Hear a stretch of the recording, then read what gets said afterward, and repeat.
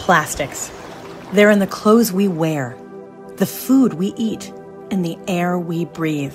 Every single piece of plastic ever made is still on the planet and will be on the planet long after our children's children's children. On land, in the sea, in us.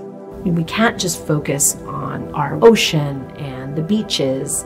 I also care about the children, families that live in disadvantaged communities that have often been ignored, and that's not going to happen under my watch.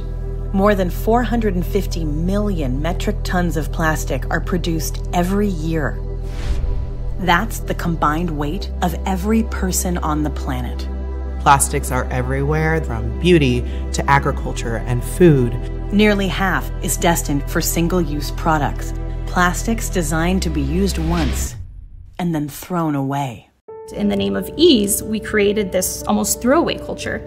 And maybe it's easier in the moment, but it's actually creating this really long term problem that we need to solve. Most of the material we are putting in our recycle bins is just taking a stop at our recycling centers and finding its way to the landfills anyway. Most of the material we think is recyclable isn't actually recyclable, even when it has those chasing arrows that we love to see. It's hard to change the status quo, and there's a lot of people who are making money off of the status quo, and those folks fight hard to maintain it. The burden to recycle has fallen on consumers. You know, it was designed that way to make us as individuals think if there is a plastic crisis, it's because of you.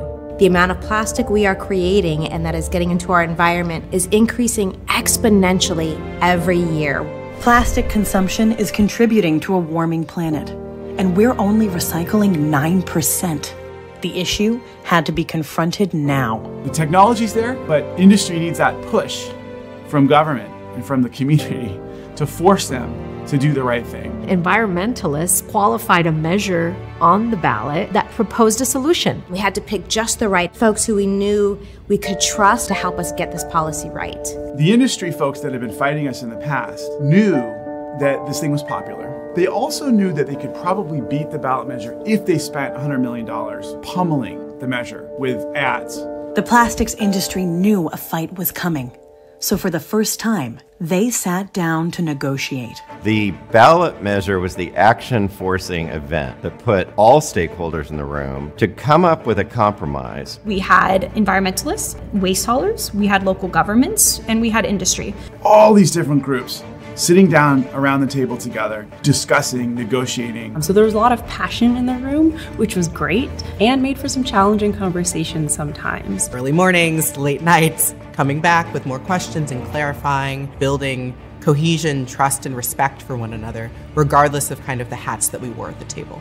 These are people that have, in some cases, negotiated against each other, fought each other, made each other furious over other pieces of legislation. We engaged in very intense stakeholder negotiations for months. It was striking to look around the table and notice most of the leaders were women. I think the result we have is in large part driven by what women bring to the table. There is something right and bringing in more diverse voices to get really sticky conservation challenges unstuck.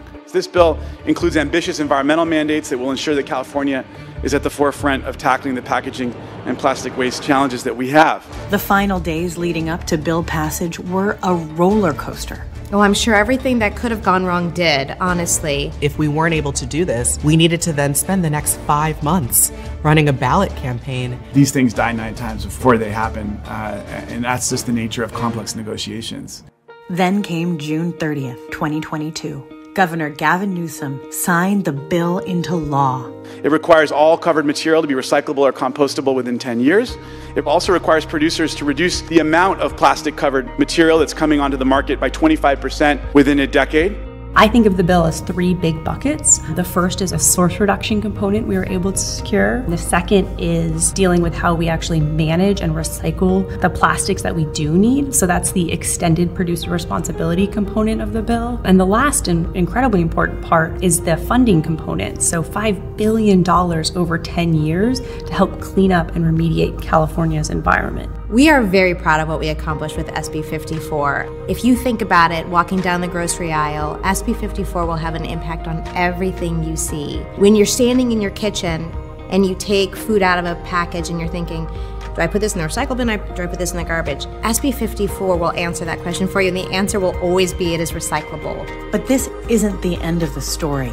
As the plastic pollution crisis continues to grow, so will our efforts to combat it. The next frontier is microplastics. Unfortunately, there are myriad other ways that plastic is invading our bodies and our environment, and we're going to need to stay at it.